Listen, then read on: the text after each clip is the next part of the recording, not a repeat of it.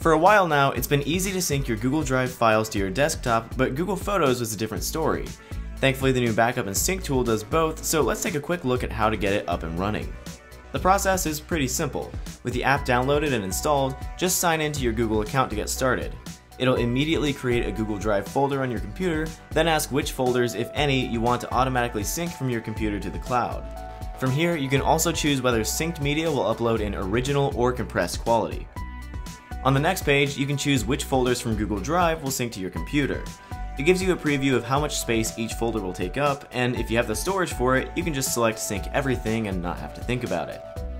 Lastly, the settings page gives some minor system options and includes a shortcut to upgrading your Google Drive storage online.